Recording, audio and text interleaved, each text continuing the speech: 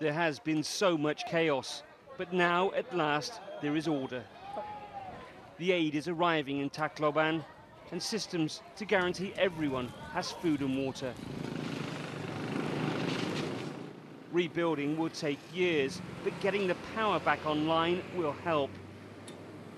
No time for health and safety here. This is urgent work.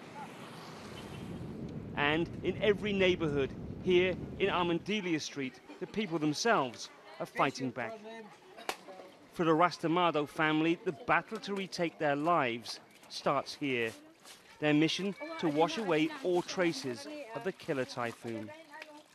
With their school destroyed, the girls, Angel and Tiffany, are helping out, doing all they can.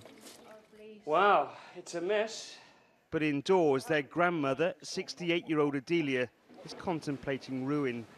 Her brave face briefly breaks with tension and anxiety. I said, I cannot leave this place. I will stay here. You know, it's hard to live. I was born here and I cannot afford to leave this place at my age. In reality, Adelia and her neighbours have little time to indulge in emotion. There's work to do in Armandilia Street, and they're getting on with it. Sammy is Adelia's cousin.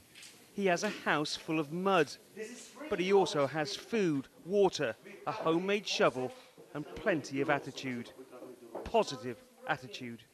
After the war, it's uh, peace. After the rain, there's sunshine. That's all. As long as uh, still live, you have the breath, just the breath, we work and go, move on. Clearly, there's still so much work to do here, but it's through their own hard work that the people themselves are making all the difference, cleaning up and moving on, determined that their city and their region will rise again.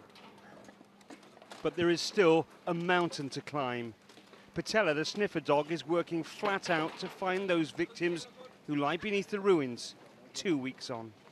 A lot of these areas outside of the main streets that they were a priority to clear have not even uh, been swept preliminarily, so we're coming up with you know dozens at a time. Dozens a day? Yes. And so it goes on.